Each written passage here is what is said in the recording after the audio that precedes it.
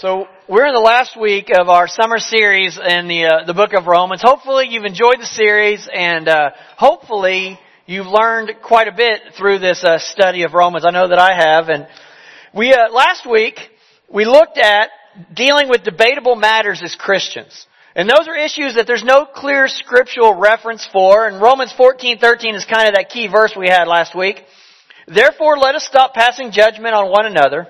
Instead, make up your mind not to put any stumbling block or obstacle in the way of a brother or sister.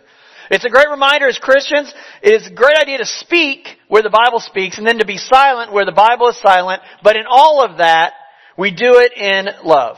And so Paul is wrapping up much of his teaching by putting into practice this idea of love because of and through Jesus. And here's the deal, as you read through this, it would be real easy to stop in chapter 15. It'd be real easy to go, okay, you know, now he's kind of wrapped up, everything's finished, he's done all his teachings, what good is the rest of chapter 15 and 16 gonna do for me? Well, we're gonna look at that today. Uh, Romans 15, 7 is kind of his final instruction. He says this, Accept one another then, just as Christ accepted you, in order to bring praise to God. And if he kind of just left off the rest of the book, all of us would be like, man, that was really good teaching. Good job, Paul. Excellent book. That was really nice. But he continues on. And as he continues on in these next sections, we actually can learn some lessons from what Paul writes. Even though it's not quite as doctrinal as those teachings before, there are some great lessons for us.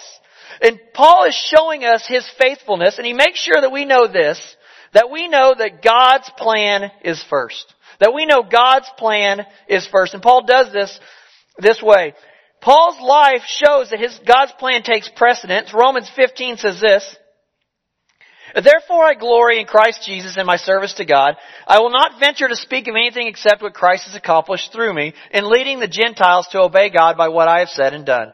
By the power of signs and wonders, through the power of the Spirit of God, so from Jerusalem all the way around to Illyricum, I have fully proclaimed the gospel of Christ. It has always been my ambition to preach the gospel. Christ was not known, so that I would not be building on someone else's foundation. Rather, as it is written, those who were not told about him will see, and those who have not heard will understand. This is why I've often been hindered from coming to you. In this end section, Paul has kind of wrapped up everything. He's kind of going to give everybody his plans. You see, and Paul says, that is why I have been hindered from coming to you. Paul had his own plans. We all do this. We all have our own plans. Uh, Mike Tyson famously said, everybody has a plan until they're punched in the face. I agree. And that's how Paul is here. He had his own plan, but he realized what, realized what mattered most was God's plan. And we're going to come back to that in just a minute. But let's start from the beginning of the section and see what kind of a mindset Paul has that allows him to follow even against what he would prefer to do. Verse 18 says, It is what Christ has accomplished through me. Paul understands where the hierarchy of credit starts. God did this, not me. I mean, how often is it that we act like I did this and then I just kind of give God credit so as long as I look good, I'll give God some credit. You know, God did this. You know, it's like this. I just want to thank God that I am so awesome that I'm the best and so great. My skill level and achievements are so absolutely amazing. Of course it's because of God, but look how great I am. I mean, maybe that's a little bit of exaggeration, but you've heard stuff like that where people pretend like they're giving glory to God, but they're like, really, this is how good I am. We're not really giving God the credit. It's giving ourselves credit, and God gets the mention, kind of like the assistant director of lighting in a movie. You know, they get that last little line in the uh, in the credits of the movie, and you're always like, I couldn't done it without him. Well, actually, I probably could have. And Paul's like, no, no. God gets all the credit. I couldn't have done anything without God. He is leading. Paul understands that God gets the credit and that obedience to where God is leading provides godly results. He is just obeying what God said to do. Because I'm sure at some point in Paul's life, he would prefer not to be beaten. Just a guess. He'd probably prefer not to be stoned almost to death. Just a guess. I'm, I'm assuming Paul prefers not to be in jail on a regular basis. There's a lot of things that I imagine Paul would prefer for his life. He would have other ideas, but he obeyed God, and God said, take the message of Jesus to the Gentiles, and Paul did it no matter where he had to go. Verse 19, it continues to show how dependent Paul was on God and following his direction. It is through God's power that he was able to do all this. Paul knew God had a plan for him, and the key was to let God lead and to give God the credit. But here's the thing about God. God is not some heartless dictator. God is not a heartless dictator that sends people out to somewhere or to do something that they hate and they're not equipped for. That's not how God operates. You see, God prepares people. Look at verse 20. Paul says it is his ambition to go where Jesus is not known, and that is where God sent him. Paul says, I want to go there, and God says, that's awesome. I want somebody to go there. I'm going to help you along the way, and I'm going to go with you. You see, when God creates a direction, He will also create a heart for the mission. When God starts to give you a direction, says God says go over there, and God's not going to make it where you're like, I don't want to go over there. I hate that. That's not even close to what I'm good at, God. That's not who I am. When God creates a direction, He's going to create a heart so that you want to go in that direction. That's what He did with Paul. Paul wanted to go share with the Gentiles. And God did that for him. You see, God has created each of us different so that He can use us each in different ways for His kingdom. We church planted a long time ago and, and there's a different mentality of people who are church planters versus the mentality of people who are pastors. They're both needed, but a church planter is the type of person that goes out, finds people, gets the church started. But you know what? In a few years, that church planter might not be a very good pastor because they are different. They have different skills. They do different things. Now a pastor might come in and be able to take the church that the church planter planted and grow it well more than the church planter ever could. And God says that to each of us. He goes, each of us have a different skill.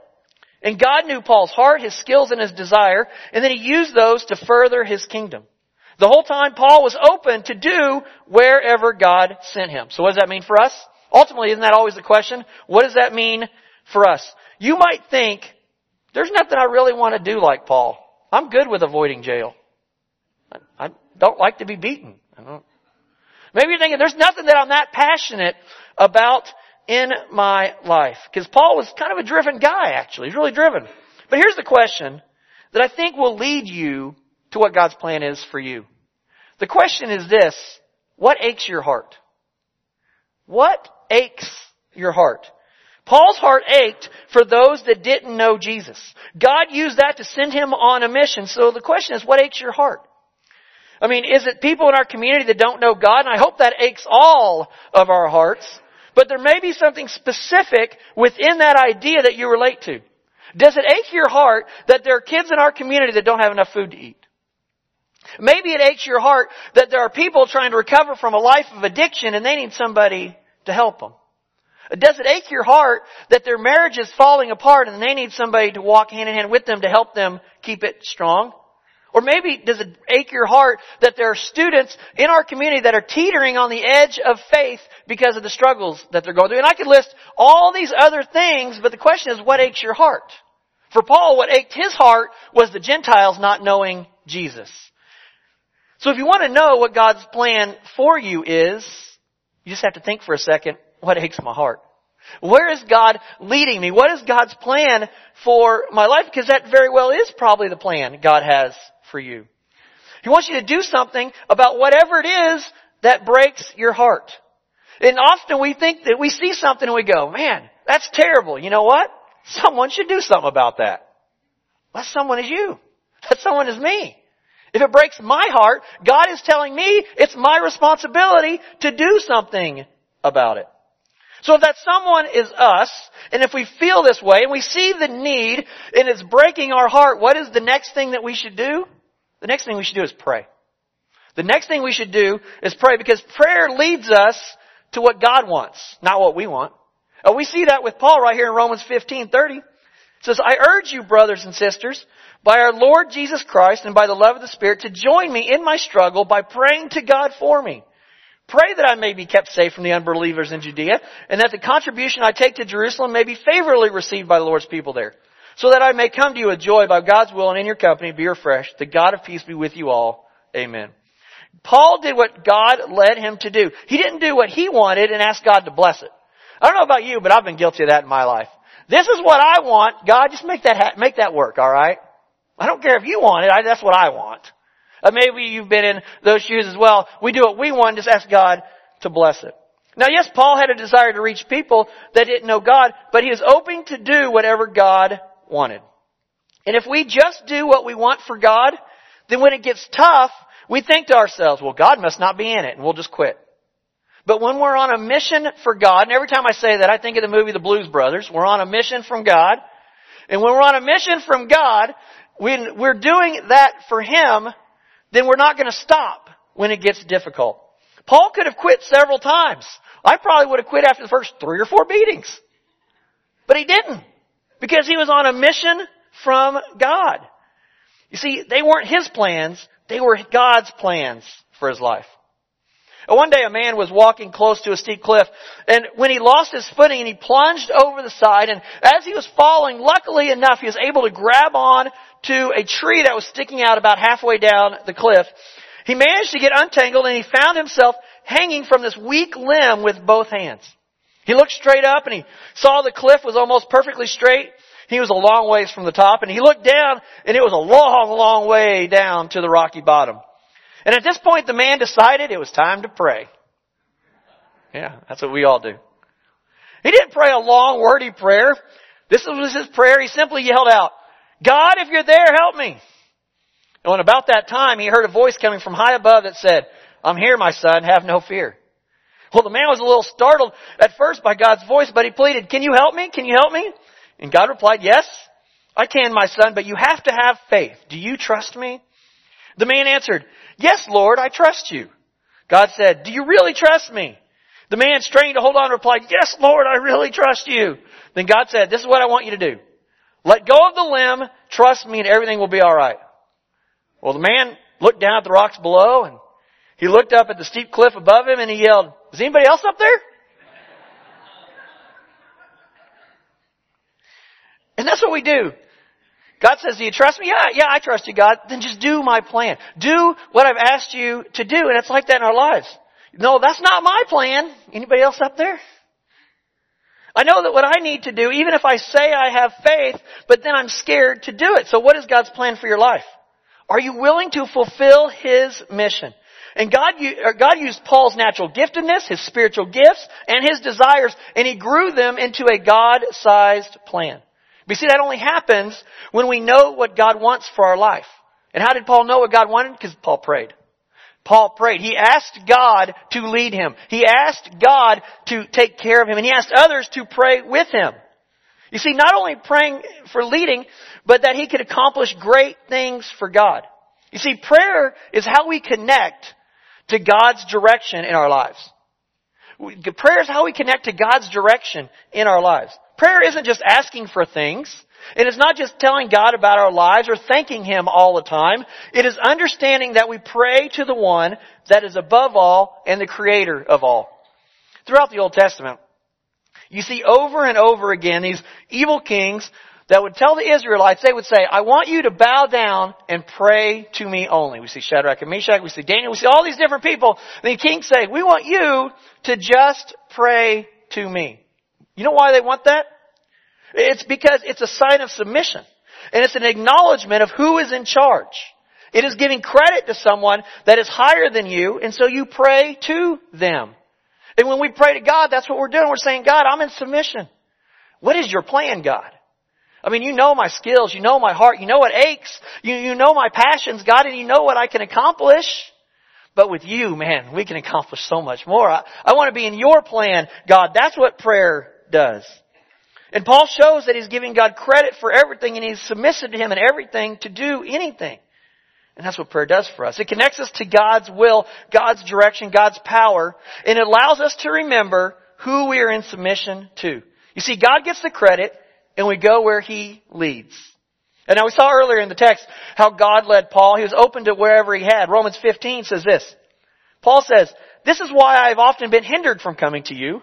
But now that there is no more place for me to work in these regions, and since I have been longing for many years to visit you, I plan to do so when I go to Spain. I hope to see you while passing through and to have you assist me on my journey there after I've enjoyed your company for a while. Not a lot of definitives in Paul's plan.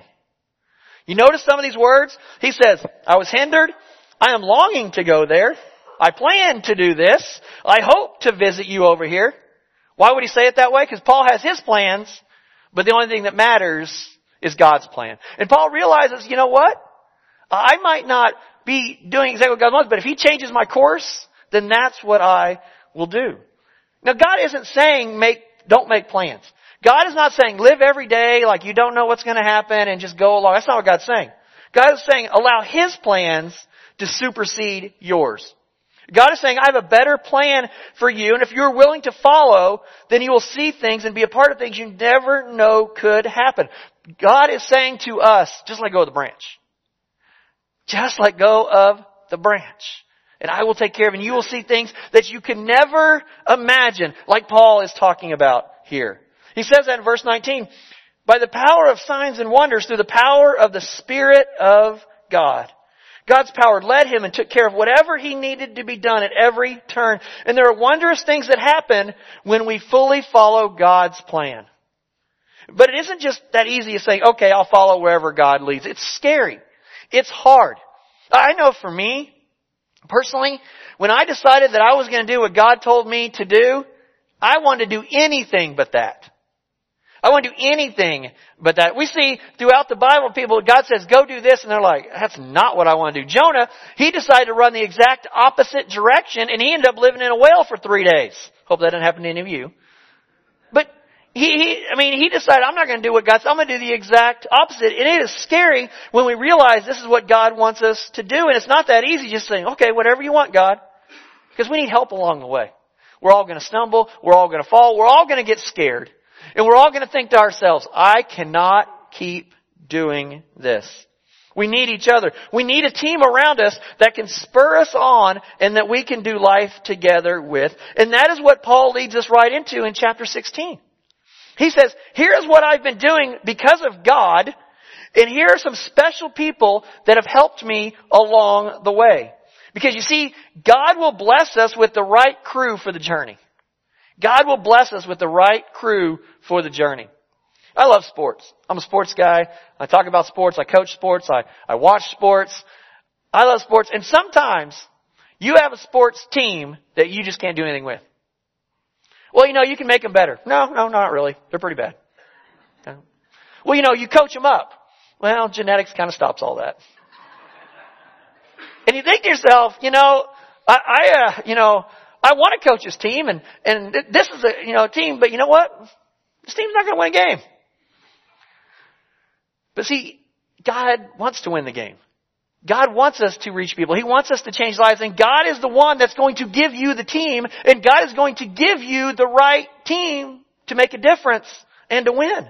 You see, when God is in charge of our journey, He equips us with the right crew, with the right people who encourage us and we encourage them. God provides the community we need to fulfill His plans. He provides the right team around us. Romans 16 is Paul listing some of the friends and relationships he has had along the way. These are his people that have helped him through difficult times. They are friends, trusted confidants, people he has invested in, and people who have invested in him. And what Paul is describing in Romans 16 is what a life of following God's plan looks like. It has many different relationships developed over time through the commonality of doing what God wants in our life. Now I know what some of you guys might be thinking. I have done what God wants me to do in my life, but I don't know that I have those types of relationships. I don't know that, that I have that many that are close relationships, that they're confidants and, and that are, that are that close. Well, you may not want to hear this, but, but here's the truth behind that. You get out of relationships what you put into them.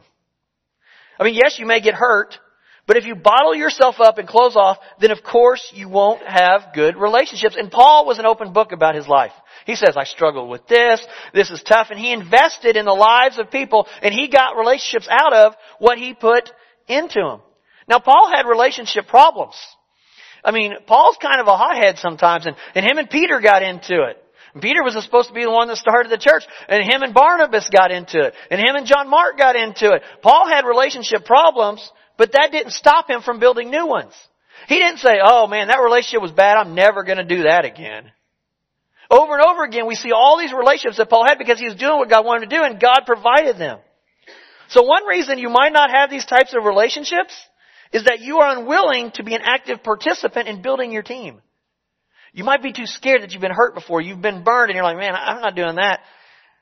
God's plan for your life is well worth getting burned. God's plan for your life is worth a few relationships that might fall apart as long as you're doing what God is leading you to do. And building relationships is scary, but God will put the right team with you for the journey. The second reason might be that we aren't actually doing what God is planning and leading for us to do. Let me explain that. I mean, that doesn't mean that we are rebelling, but simply not following the plan God would want for us. I mean, it's easy to do that. Just live our life day to day, you know, be a good person, you know, follow God, but choose not to take the real journey God has for us. I think that's why so many people say that their Christian life is boring or routine. Of course it is, because you aren't living the full plan God has for you. I mean, here's the reality. When I was young and, and I chose to go into the ministry, I had a couple options. I could have done this or I could have done something else. I've said it before. I love sharks. I could have gone and worked with sharks. I, I love them. You know, and I could have said to God, I'll be a Christian and you know, and do this, but I know you're telling me to go be a pastor and do this, but I want to do what I want to do, God, and, and I'll still be a, a good Christian. That'll be fine. And sometimes we do that in life, right? God, I'm following you. You know, I'm not doing anything terrible. I'm not a bad person. But God's been telling you, no, you see this person next door to you? That is your ministry and your heart aches for them. And you're like, nah, I don't think so. And I, I, you know, I'll just be a good person, God. I don't really want to step out. I don't want to let go of that branch, God. That's a little too scary for me. Or God might be saying, you know what? You have this heart for these kids that have no food here in town and you need to do something about that. Like, that's too big. Uh, there's no way I could do that, God. I don't have the resources. I don't have the people. I, I just couldn't do it. And God says, let go of the branch and I'll provide my power, my resources, and I'll provide the crew to come around you. So what is God's plan for your life? What is God's plan for your life? You see, when we actively pursue and actively pray, pray, for God's plan, He will guide us and we'll begin to see this network of people that we get to be in community with and we get to grow with. I've said this before, but God has a general will for all of us. He all wants all of us to live lives of righteousness. He wants us all to evangelize. He wants us to worship together. But God also has a specific will for each of us. And often people just stay in His general will and we don't follow the richness of His specific will because we're too scared to let go of the branch. We're too scared of what that might look like and what that might mean for us. So how do we know what that is? How do we know His specific will? Again, what breaks your heart? What skills and experience has God blessed you with? I think we make it harder than it is. Because we realize what it means if we truly follow His specific will for us. I think you can think right now, I bet, and think about a couple of things that break your heart and you're thinking to yourself, I think God wants me to do something about that. I think that's God's plan for me because of the way He's given me gifts in my life, the way He's skilled me, the way He's built the network around me, and the things that I've been through. I think that's what God's plan is for my life. I'm willing to bet you can think of a few things that might be God's plan for you. So what breaks your heart? What is God's will for you? But whenever we do follow God's will, we have these relationships that begin to grow around us. And that's what Paul is seeing here in, in chapter 16. And, and before we look at the specific individuals here in 16, I want you to look at who makes up this list. His crew is all different. We have men and women. We have slaves. We have high ranking people in Caesar's palace. We have everyone in between because that is the church. What God says is, I will build up a church around you to help fulfill my plan. That is what our crew will look like when we are following God's plan. Our team will consist of people that we may have nothing in common with except for our love for God and willingness to do what He wants. I have worked with people in ministry that I really just don't like. I know it's hard to believe. I'm a pastor. It doesn't matter. We're all going the same direction. And this is part of the team. And he, they probably didn't like me either. But you know what? We were together fulfilling God's plan. And your crew can be all kinds of people, and that's what God is going to do. He's going to provide the right people to accomplish His plan. And we can see the type of unity that Paul is talking about in this group because he says in Christ four times, in the Lord five times, this is chapter 16. He uses family names like a brother and sister a few times, and several times calls them my dear friend, which dear friend literally means beloved. These are some serious relationships Paul has in ministry. I mean, you can see the closeness he had with these people. So let's look at them real quick. Romans 16, 1 and 2. He says to you, I commend to you our sister Phoebe, a deacon of the church in Cenchrea, I ask you to receive her in the Lord in a way worthy of his people and to give her any help she may need from you, for she has been the benefactor of many people, including me. Now first, sometimes the church is accused of being misogynistic, but Paul lists nine women here and they have distinguished themselves in leadership and the first one is Phoebe. What do we know about her? Here's what we know. She's a deaconess. You know what that is? A female deacon. Very simple. She is a leader in the church that she came from. That meant that she was, had an official position as a leader in that church. She was also entrusted to take this important letter to Rome. Paul gave the entire book of Romans that they wrote and gave it to her to give to the church. She obviously probably had some business there and she just took this with her as she went. She must have been someone with financial means because it says Paul, she supported Paul and others. She was a leader and helped grow the church through the gifts God had given her. Paul clearly valued her and her ministry. That was part of his crew, part of Paul's team. Now here's the thing. If you read through this, and, and this may get a little uh, nerdy, I'm going to get a little nerdy on you. Now we begin to run into some issues with these next names. And I want to briefly discuss this because I think it's important, but I said it's a little, little nerdy here. Many of these people listed were part of the Ephesus church, and some people think that this letter was written and they took a piece of a letter that was supposed to go somewhere else and added it onto the end of Romans because they looked through this list of names and they're like, that doesn't make sense. These are, these are people from Ephesus or, or some other places. Why would Paul write to Rome and add all these greetings to these people that are supposed to be in Ephesus? So some people think that. But here's the problem with that. If Paul was writing a letter to Ephesus where he's at for so long, the list would be the size of Romans. It would be something, cause think about this. If you write a letter back to the church and you're Paul the apostle, you can't leave anybody out. You know what they're gonna go is, oh yeah, see what, see what I mean to Paul. He doesn't care about me. You know we all do that. If you're not specifically mentioned, you know when your friends tag everybody but you on Facebook, you're so hurt. Same thing. Put in today's terms. And so if, if he was going to write one to Ephesus, he would have to write everybody, and that would be way longer than this list. And the second of all is this. We have to remember that people traveled and moved a lot more frequently than they do now.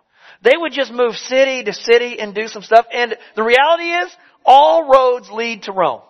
Literally, you've heard that before, and that's the truth. That's why that phrase, all roads lead to Rome. It was the center of commerce, and it would not be surprising for some of these individuals to move to Rome and be there for a while for business.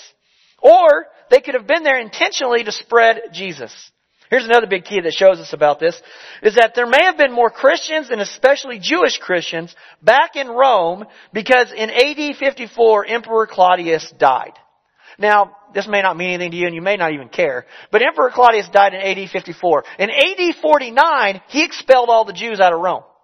He said all the Jews have to leave Rome, and so he kicked them all out. When he died, that edict probably died with him. Well, as you can imagine, if, if you're a Jewish Roman and you want to go back to Rome, I mean, Rome is the place to be, so they all came back. So what, what happened was, it's amazing how God works. He kicks the Jews out, the Jews go become Christians, and they come back to Rome. Uh, we see this right here in Acts 18.2. There he met a Jew named Aquila, this is Paul, and a native of Pontus, who had recently come from Italy with his wife Priscilla, because Claudius had ordered all Jews to leave Rome. Paul went to see them. So Priscilla and Aquila are probably back home. They probably went back to Rome. So it would not be strange for them and many others who had converted to Christianity to return home. And that explains several of the names, and then many are obviously more Roman, like Aristobulus, who is the grandson of Herod the Great, and was a great friend with Claudius. Also Narcissus, he was a rich, powerful freedman who was a big influence on Claudius. And we don't know if either one of those guys ever became Christians, but obviously some in their household were. And it seems that there were even Christians in the imperial household, in Caesar's palace. So that brings us back to Priscilla and Aquila. They could easily be in Rome doing God's work. Romans 16, 3 to 4. Greet Priscilla and Aquila, my co-workers in Christ Jesus. They risked their lives for me. Not only I, but all the churches of the Gentiles are grateful to them. Again, I want you to notice something. Who's listed first? The female, Priscilla. Uh, that, that, that's strange for back then. But what that does is it shows how much of a worker she was. She was either the leader in the family by faith, or maybe she was the first one converted, or more than likely she was more of a leader in the church and more of a leader in her servanthood. And that's why she was listed first. But she was a leader in the church. You see, God uses everyone for His plan. They had to leave Rome, and God knew that, because God knows. And then they learned what Christianity about Christianity followed Jesus. They go back to Rome and begin to make Christians. You see, God has a plan for all of us. Probably wasn't what they planned. They probably would have preferred to stay at their home, but God knew what He needed from them. Romans 16:7 says this, Greet Andronicus and Junia, my fellow Jews who have been in prison with me. They are outstanding among the apostles and they were in Christ before I was. Now you may not be able to tell, but that's actually a couple. Alright, male, female. Probably like which one's which. Anyway, but that's a, a married couple and they were, they were great missionaries and they were considered outstanding among the apostles. Now that doesn't mean the twelve and Paul. There's a group of apostles that were sent out from the churches to plant churches and to preach, and so it's a little bit larger group. But regardless, the point is, these two people have done some great work, and everybody knows who they are. It would be like, you know, these two people are like, you know, Billy Graham. He does some great stuff. That, that's how this, this is. You know, that's that idea. This is, you know, a preacher that everybody has known about and has done great work and everybody approves of them. But just like Paul, each of these people may have had a plan for their life, but they were open to God's plan. And they are part of Paul's crew as he is sharing Jesus and taking the gospel to the world. Now this list is just a small list of some amazing relationships that Paul had because he followed God's plan for his life. So ultimately all this comes back to this. Why does this even matter? Why does it matter? Here's why. Because God has a plan for you. He has a journey in your life just for you. Now, you can choose to play it safe and just kind of live. I mean, that's fine. You, you know, be a good Christian. You can go to church. You can be nice, you know, don't kick little kids. You know, you know, help old little ladies across the street. You know, all that stuff. You can be a Christian and not follow God's bigger plan. But I guarantee this. If you choose not to follow God's bigger plan, at some point you're going to be like, this Christian life's kind of boring. I, I don't, I don't get what everybody's talking about. It's because you're not following the plan God has for you. It's because you're simply just living day to day and just kind of comfortable and you're just hanging on to that branch. And God says, I got a bigger plan for you. You see, or you can decide that you will act on the leadings God has put in your life. What's aching your heart? Then you will step out of that comfort zone and take an incredible journey with God. And we've seen that God will provide all along the way. He will allow us to be used in ways we have never imagined. And He will provide the right crew along the way to help keep us motivated and to help fulfill that call that God has given to us. Well, let me wrap this all up. Paul sums up with Romans in this. The end of Romans, it says, Romans 16, 25 through 27. Now to him who is able to establish you in accordance with my gospel, the message I proclaim about Jesus Christ, in keeping with the revelation of the mystery hidden for long ages past, but now revealed and made known through the prophetic writings by the command of the eternal God, so that all the Gentiles might come to the obedience that comes from faith. To the only wise God be glory forever through Jesus Christ. Amen. That is weird stuff. If you read that, and you didn't have to read that more than once, you are much smarter than me. Let me sum it up in English normal language. Here's what he's saying. Paul is saying God can do anything. He's had a plan from the beginning. That plan is Jesus, and He wants everyone to put their faith in Him, and that plan includes us living out the incredible journey God has for each and every one of us. That's how He wraps up Romans. It's all about Jesus. It's all about us taking Jesus to the people that don't know Jesus. That's what Romans is all about. And I don't know about you, but I get excited when I think about the incredible plans God has for my life. I get excited when I think about the incredible plans God has for your life. It excites me to think of the things that, that we can do as a church, that you can do individually, that we're going to do together with your crew, that are going to change the world around us. It excites me. But the first thing that we have to do before we can begin to start our journey with God is to make God in charge of our lives. We have to make the choice that He's going to be the boss. He's the one that we're going to pray to and He's the one that we're going to give credit to. And that means that we choose to follow Jesus. And when we do that, our sins are gone and we can be a child of God.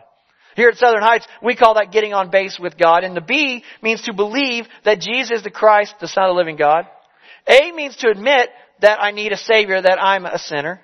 S means I surrender my life and says, God, I'll let go of that branch and I will do whatever you tell me to do.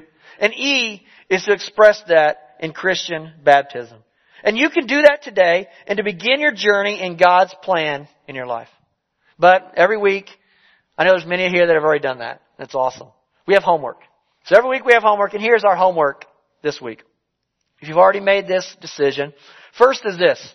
Pray about God's plan in your life. Pray about it. What is God leading you to do? What is aching your heart? What is it God wants specifically for you to do? And then, after you pray about it, discuss it with someone. Maybe it's a friend. Maybe it's a spouse. Maybe it's a relative. What is God's specific plan for your life? Maybe you're already doing it, and that's awesome. But I think we sometimes limit what God can do through us because we underestimate His power. And sometimes we think God's plan is only this big, and God's like, no, that's the tip of the plan that I have for you. Trust in my power. Talk to me, and I will lead you to great things for me. We limit God's power too much. You see, God will provide whatever we need to fulfill His call. So discuss it and see where God is leading. Now as a church, we want to be on the front edge of God's call. We want to be on the front edge of where God is leading. So we want to support you as a church. We want to help you. So let us know how we can help and be part of supporting you as we all live out God's plan. Because ultimately, like Paul said, we do this so that all might come to the obedience that comes from faith. Let's pray.